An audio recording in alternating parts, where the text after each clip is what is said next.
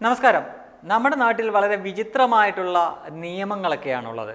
പക്ഷേ ഈ നിയമങ്ങളൊക്കെ എല്ലാവർക്കും ബാധകമാണോ എന്ന് ചോദിച്ചാൽ എല്ലാവർക്കും ബാധകമല്ല. ചിലർക്കൊക്കെ ആ നിയമമൊന്നും ഒട്ടും ബാധകമല്ല. അത് ഭരിക്കുന്ന പാർട്ടിക്കാരാണെങ്കിൽ പിന്നെ പറയുകയും വേണ്ട. ഉദാഹരണത്തിന് ഇപ്പം നാടക വണ്ടിക്ക് നാടക ബോർഡ് വെച്ചാൽ മുപ്പതിനായിരമാണത്രേ പിഴ. കാറിൽ ലൈറ്റ് സ്റ്റിക്കർ ഒട്ടിച്ചാൽ അതിന് പിഴ. ആ സ്റ്റിക്കർ അവിടെ ഇരുന്ന് തന്നെ പറപ്പിക്കുന്ന രീതിയും കേരളത്തിലുണ്ട്. പോരാത്തന്നെ ഇപ്പം ചില ആളുകൾ ഈ സ്വകാര്യ വാഹനത്തിന്റെ അകത്ത് ഇങ്ങനെ പാവയും ഈ പട്ടിക്കുട്ടിയെ പോലുള്ള പാവയൊക്കെ ഇങ്ങനെ തൂക്കിയിടുമല്ലോ അതിനൊക്കെ ഇപ്പം പിഴ ചുമത്തിയിരിക്കുകയാണ് കാര്യം ഡ്രൈവറുടെ കാഴ്ച മറക്കുന്നവർ ഇതൊക്കെ വേണ്ടത് തന്നെയാണ്. പക്ഷേ ഈ നിയമങ്ങളൊക്കെ എല്ലാവർക്കും ബാധകമാണോ എന്നാണ് നോക്കേണ്ടത്. മുൻപേ തന്നെ ഇവിടെയുണ്ട്. അതായത് ഈ സ്ക്രീനിൽ സൺസ്ക്രീൻ ഒട്ടിച്ചാൽ കാറിന്റെയൊക്കെ സൈഡിലെ ആ ഗ്ലാസ്സിൽ സൺസ്ക്രീൻ ഒട്ടിച്ചാൽ അത് നിയമവിരുദ്ധമാണ് അത് മാറ്റുന്ന പരിപാടിയുണ്ട്. അകത്ത് കർട്ടൻ ഇട്ട് കഴിഞ്ഞാൽ അതും നിയമവിരുദ്ധമാണ്.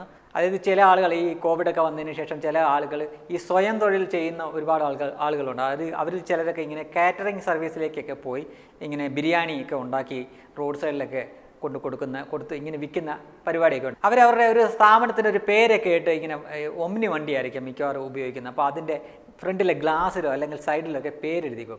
അതിന് വരെ നമ്മുടെ മോട്ടോർ വെഹിക്കിൾ ഡിപ്പാർട്ട്മെന്റുകാർ അതിന് ഫൈൻ അടിക്കുകയും അത് നിയമവിരുദ്ധമാണെന്ന് പറയുകയൊക്കെ ചെയ്യും. പക്ഷേ അതേ സമയത്ത് തന്നെയാണ് ഭരിക്കുന്ന നമ്മുടെ കേരളം ഭരിക്കുന്ന സി പി എം മുഖ്യ പങ്ക് വഹിക്കുന്ന എൽ ഡി എഫ് എന്ന ആ മുന്നണി ഭരിക്കുന്ന ഈ നാട്ടിൽ നമ്മുടെ നാട്ടിലെ ഓട്ടോകൾക്ക് ഏത് കളറാണ് കൊടുക്കേണ്ടതെന്ന് വളരെ വ്യക്തമായി തന്നെ നിയമത്തിലുണ്ട്. നമ്മൾ കാണുന്ന അതായത് സവാരിക്ക് ജനങ്ങളെയും കൊണ്ട് സവാരിക്ക് ഇങ്ങനെ റെന്റിന് റെന്റായിട്ട് കൊണ്ടുപോകുന്ന ഓട്ടോയ്ക്ക് കറുപ്പും മഞ്ഞയായിരിക്കണം അതിന് കൊടുക്കേണ്ട നിറമെന്നാണ് നമുക്കൊക്കെ അറിയാവുന്നത്. എന്നാൽ ചുമല പെയിന്റ് അടിച്ച ചുമല പെയിന്റ് അടിക്കുകയും അതിൽ ഉറപ്പാണ് എൽ ഡി എഫ് എന്നൊക്കെ എഴുതി വെച്ചിരിക്കുന്ന ഓട്ടോ നിങ്ങൾ കണ്ടിട്ടുണ്ടോ?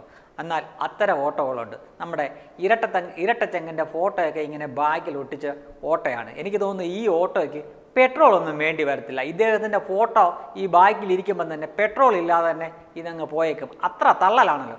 ഒരുപക്ഷെ അതിനു വേണ്ടിയായിരിക്കാം ഇവർ ഈ ഫോട്ടോ ഈ നമ്മുടെ മുഖ്യമന്ത്രിയുടെ ഫോട്ടോ ഈ ഓട്ടോയുടെ പുറകിൽ ഒട്ടിച്ചിരിക്കുന്നത് ഇനി ഇതൊരു ട്രോളാണോ എന്ന് വരെ സംശയമുണ്ട്. കാര്യം മറ്റൊന്നുമല്ല ഒരു നല്ലൊരു സൈക്കിൾ വന്ന് മുട്ടിയാൽ തന്നെ വട്ടം മറിയുന്ന ഈ ഓട്ടോയിൽ അതിന്റെ ടാർപോളിനുണ്ടല്ലോ അതിന്റെ മുകളിലത്തെ മൂടുന്നത് അവിടെ എഴുതി വെച്ചിരിക്കുന്നു ഉറപ്പാണ് എൽ ഡി എഫ് എന്ന്. ഉറപ്പാണ് എൽ ഡി എഫ് ഉറപ്പാണ് വീണ്ടും വരുമെന്നൊക്കെയാണ് എഴുതി വെച്ചിരിക്കുന്നത്.